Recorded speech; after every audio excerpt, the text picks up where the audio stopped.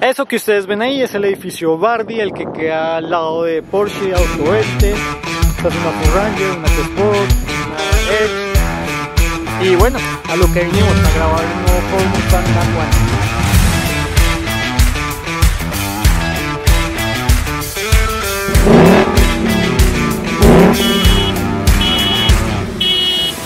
Hey hey amigos de Pitsop, ¿cómo están? Mi nombre es Federico y acá atrás mío está el nuevo Ford Mustang Mach 1 un carro que es edición limitada, que tiene más potencia que un GT, que se podría decir que reemplazó al Shelby GT350 y bueno, vamos a conocerlo. ¿Y qué hace especial este Mustang? Lo primero es que es una edición limitada, eso quiere decir que cada unidad va a tener el número de chasis acá adentro, ahorita se los muestro.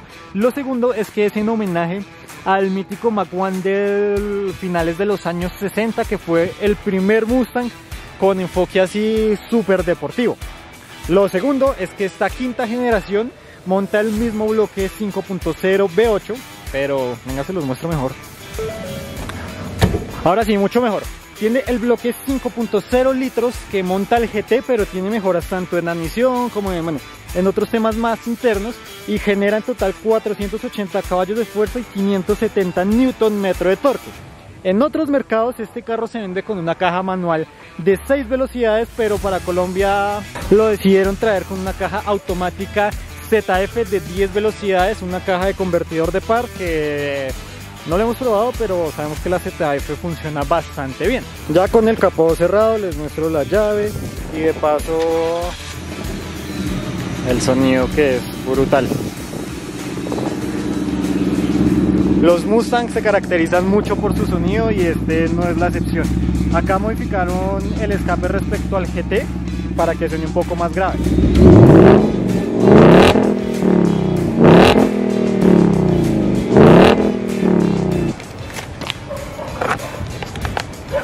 No les digo, este carro suena brutal. Siguiendo por la parte estética, en la parte trasera acá no tenemos el caballito que tienen todos los otros Mustangs, sino tenemos el emblema Mach 1. Las luces sí siguen siendo las mismas y también tenemos un difusor totalmente diferente que es exclusivo de esta versión Mach 1. Es inspirado un poco en el Shelby GT500. Por último, hablemos del tema de los rines y los frenos, porque tanto los rines como los frenos son exclusivos de esta versión. Son rines de 19 pulgadas con frenos Brembo de 6 pistones adelante, 4 atrás, con discos ventilados. Y otra cosa es el tema de estas líneas que si se pueden dar cuenta dice Mach 1 que también las tenemos a los lados y los emblemas a los lados. Y bueno en fin todos los detalles de este carro son en color naranja. Hablando de colores tenemos cuatro colores diferentes. Este gris tenemos uno negro tenemos uno naranja y tenemos uno blanco. A mi concepto, el color gris que tiene esta unidad es el color que mejor le queda. Aunque bien sabemos que en otros mercados se vende azul, se vende rojo, pero pues ya es cuestión de gustos de cada quien. Vamos ahora a verlo por dentro.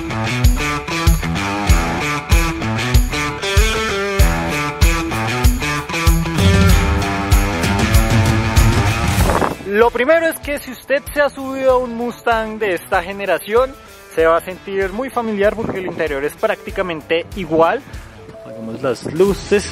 La diferencia es que acá en los faldones tenemos una inscripción Mac 1. La otra diferencia es el tipo de silla que cambia un poquito respecto al GT y también tiene este detalle naranja acá en la parte alta con stitch en blanco. Estas sillas son de accionamiento semieléctrico, la parte de la longitud y de la altura es eléctrica y el espaldar sí es totalmente manual. Acá está el volante que totalmente redondo, clásico del Mustang de esta generación y es el segundo lugar donde vemos el caballo, el primero es en la parte frontal, el segundo es acá y por acá tenemos otra vez el caballito de Mustang, tenemos tablero totalmente digital. Algo interesante de este tablero es que cambiará dependiendo del modo de manejo, tenemos normal, tenemos My Mode que es un modo configurable que en este caso está en la versión más deportiva, que tenemos el tacómetro en formato horizontal, tenemos el modo Sport Plus, que cambia acá un poco el tema del, del tacómetro ya nos muestra el velocímetro a la derecha, tenemos el modo pista, que es como el que ya habíamos visto antes, tenemos el modo pista de carreras, que es como para hacer drag race. En este modo pista o cuarto de milla, nos da la configuración ideal para que el carro no patine tanto el eje trasero, sino tenga pues la mayor tracción y así poder hacer el cuarto de milla en el menor tiempo posible. Está bastante bien. También tenemos el tema de las apps, que ya ahorita se los muestro. Y por último tenemos el modo nieve o piso húmedo, que con esas nubes tan grises sería mejor llevarlo en ese modo. Ahora sí miremos el tema de la SAP. Acá desde el volante con el oprimiendo el caballo tenemos pues la para configurar el My Mode. Tenemos acá diferentes modos de escape donde tenemos el modo silencioso.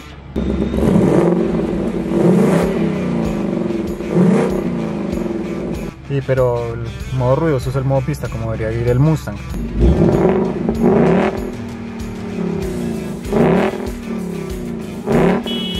Acá en las track apps tenemos tiempos de aceleración para poder medir nuestros tiempos ya sea de 0 a 100, de 0 a 50 y pues acá nos da la advertencia de que solo se puede usar en pista. También tenemos el tema del bloqueo del eje delantero, que esta opción es bien interesante porque nos, como su nombre lo dice, nos bloquea el eje delantero para poder hacer burnouts o quemar rueda en el eje delantero para meterlas en temperatura o simplemente para hacer nubes en días donde el cielo esté totalmente azul. Y bueno, ahora hablemos del tema que más nos debe interesar a todos y es el tema de la seguridad. En asistencias tenemos alerta de colisión frontal, tenemos eh, asistente de permanencia en el carril, control crucero, cámara trasera, obviamente. Tenemos 8 airbags, luces automáticas, que está bastante bien. Y también tenemos monitoreo de punto ciego en los espejos. Ahora, en cuanto al equipamiento de confort, como ya les dije, tenemos sillas calefactables, ventiladas, volante calefactable, sonido Bang Olufsen. Y en cuanto al equipamiento en desempeño, tenemos suspensión magnética que es ajustable dependiendo de los modos de manejo. También tenemos diferencial trasero Torsen, lo que ya les dije del bloqueo del eje delantero para poder hacer burnouts. Entonces, si uno quiere un carro, un muscle car que sea el siglo XXI, pero que aún mantenga ese motor V8 grande al frente, ese sonido espectacular en la parte de atrás y que no tenga ni turbos ni hibridación de ninguna forma, este carro es. O si uno ya quiere algo más, puede subirse a un GT500, pero por ahora no se venderán en Colombia y quién sabe si llegarán o no. Si usted quiere este Mustang tanto como yo, incluso más, le recomiendo que se apure porque son ediciones limitadas. Tal vez se agote muy pronto, tal vez no, pero pues si lo quiere es mejor que lo tenga y no que se quede con las ganas. A día de hoy está por 235 millones de pesos, que está bien, está mal, no sé, déjenlo en los comentarios. Y también en la descripción les dejé un artículo bien interesante sobre la nueva garantía extendida que va a ofrecer Ford tanto para, bueno, que usted podrá comprar de más para un Mustang, para un Escape, para un EcoSport, para un Explorer, para la nueva F-150, siempre y cuando cumpla ciertas características, entonces ahí se la dejo abajo. Desde algún lugar de Bogotá, una tarde soleada, hermosa, yo los dejo con el encendido del Mustang. Mi nombre es Federico, bye bye. En una foto en Instagram que está acá les había dejado que quería que hiciera con el Mustang o donde lo quisieran ver. Entonces pues mientras no lo prestan, si es que no lo prestan, déjenlo acá en comentarios también a ver dónde lo quieren ver. Pista, donas, llevarlo a hacer mercado, meter a cuatro personas. Déjenlo todo en comentarios. Ahora sí, bye.